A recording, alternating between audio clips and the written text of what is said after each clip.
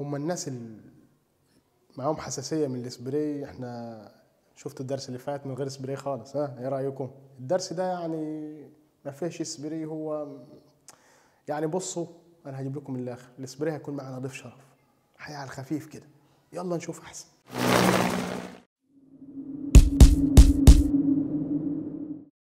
السلام عليكم ورحمة الله وبركاته. أهلا وسهلا بحضراتكم. النهاردة يا جماعة إن شاء الله هنعمل درس يعني خالي بنسبة 90% من السبراي درس خفيف إن شاء الله وهيعجبكم. خلينا بس نبدأ كده على طول معنا المسطرة والقلم كالعادة يعني. هنبدأ من بداية الجدار. هنقيس 30 سنتي. الناحية التانية نفس الحكاية. نبدأ نقيس 30 سنتي. باستخدام اللزق الواحد سنتي. تمام كده؟ هنبدأ نوصل العلمين ببعضهم بالشكل ده. هنبدأ يا جماعة طبعا نقيس 30 سنتي تاني وماله؟ نقيس وإحنا ورانا حاجة. الناحية التانية نفس الحكاية. وهنبدأ نوصل وهنكمل يا جماعة تكمل الحيطة بتاعتك بنفس النمط. نفس الحكاية يا جماعة هنقيس من هنا كده 30 بعد ما خلصنا بالعرض. هنبدأ بالطول. يعني هنعمل مربعات 30 في 30 ممكن برضو تجيب حتة كرتونة 30 في 30 تعمل بيها المربعات. وممكن تشتغل زي ما أنا شغال كده.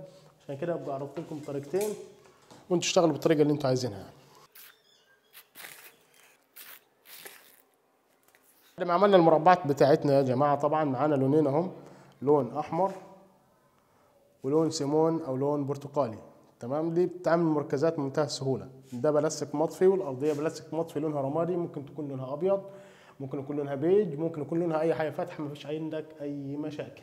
هبدأ باستخدام الفرشة بتاعتي. هلون اللون السيمون الأول. طبعا أنا يا جماعة هلون مربع وهسيب مربع يعني مربع سيمون مربع أحمر. تمام كده؟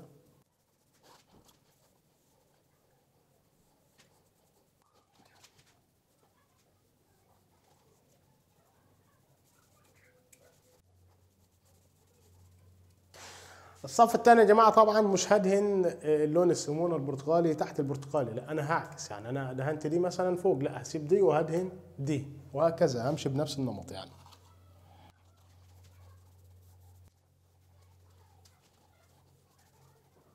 طبعا يا جماعة بعد ما لونا اللون السمون أو البرتقالي هنلون المربعات اللي بقى دي كلها باللون الأحمر.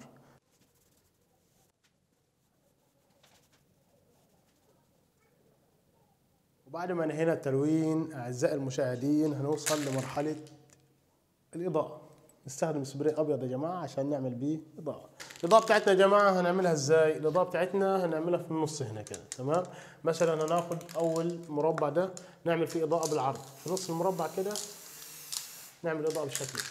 ثاني مربع ناخد الإضاءة نخليها بالطول مثلا. يعني واحد بالعرض واحد بالطول. وهنمشي بنفس النمط. وتحت طبعا يا جماعة هنعكس يعني الأحمر جاي معانا طول على طول طول على طول. حلو. وبعد ما خلصنا الإضاءة يا جماعة هنجيب أي شكل دائري. طبعا ما عنديش شكل دائري كبير لكن أنت ممكن تجيب صينية كبيرة مثلا أو أي شكل دائري كبير وتشتغل بيه. فأنا عملت حتة كرتونة على شكل نص دائرة وأشتغل بيها. نشتغل بيها إزاي؟ باستخدام قلم ماركر هبدأ أثبتها كده تمام؟ الإضاءة اللي أنا أعطيها بالعرض هخلي الكرتونة بتاعتي بالشكل ده. هاخد نص الدايرة هنا ونص دايرة فوق. اللي عاملهم بالطول هعكس يعني. واخدين بال حضراتكم اللي عاملهم بالطول هعكس هخليها بالطول. تمام هاخد علام هنا وهاخد علام هنا. وأكمل يا جماعة كل الأشكال بتاعتي بنفس النمط.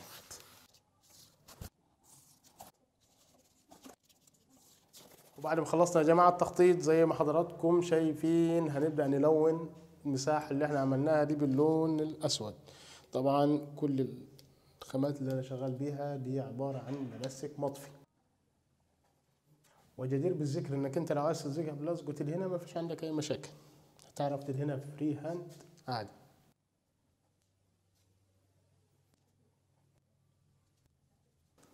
وبعد الدهان نشيل اللزق بكل أمان.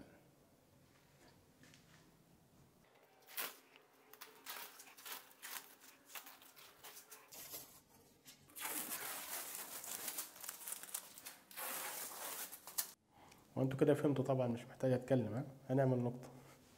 هنعمل هنعمل نقطة يا جماعة باللون الأسود. طبعا لو مش عايز تعملها ما تعملهاش أنا مش هضربك على إيدك.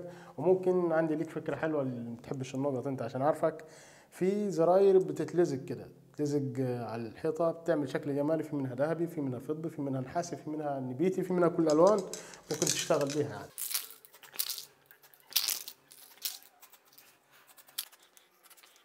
بس يا سيدي شفت النقطة فرقت إزاي معاك؟ وكده نكون وصلنا للشكل النهائي للديكور بتاعنا. ما تنسوش تعملوا لايك اعملوا شير عشان الناس كلها تستفاد. لو ما شاركتش في القناة انزلوا اشتركوا في القناة فعلوا زر الجرس. أشوف عليكم الخير إن شاء الله في دروس قادمة أفكار قادمة ودمتم في رعاية الله.